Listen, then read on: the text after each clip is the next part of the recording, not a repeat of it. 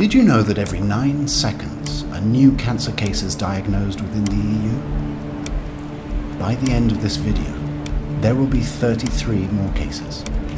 And this is accelerating. Early and accurate diagnostics will be the key to fighting this development. We are on a journey to change this, a journey that will make the diagnostic process more efficient and accurate, saving lives by detecting potential errors on time. We do not settle with good enough. We want to be the best in what we do. And that is why we have been making a point to lead the future of pathology. Are you joining us and helping us create it?